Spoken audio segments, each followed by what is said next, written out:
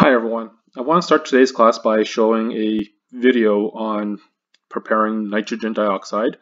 This is a highly toxic gas, um, but the gas itself is in equilibrium with another gas called nitrogen tetroxide.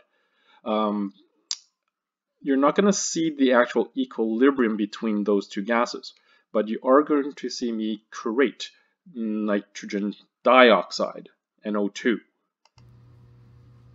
So in order to create that particular toxic gas, um, I'm going to use nitric acid, H2NO3.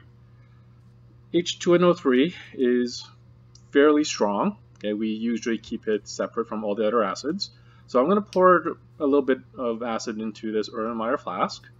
Behind the Erlenmeyer flask, there's a white cardboard box.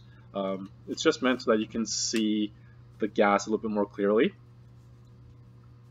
Now, this particular reaction works with copper metal.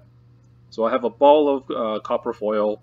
Um, it's very soft, it's malleable. Okay, I'm just going to roll it up into a ball and drop it into the nitric acid, and we will see a spontaneous reaction right away.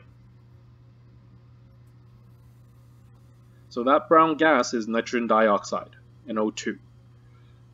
Uh, so just like with most gases that are colored, you probably want to avoid this, so that's why it's being created in the fume hood. Um, right now you see the gas leaving the Erlenmeyer flask because a lot of it is being made. I'm going to put a stopper on it just to close the system. Um, you can kind of see right now that the bottom is green, indicating that there's a bunch of copper ions.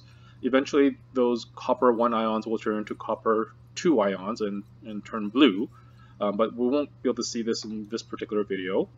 Um, right now, it's in static equilibrium.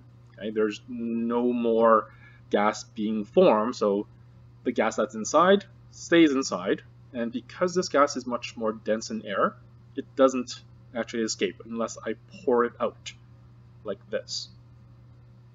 Okay, so I'm going to put the cap back on, we're going to look at this particular gas and the equilibrium that it uh, forms.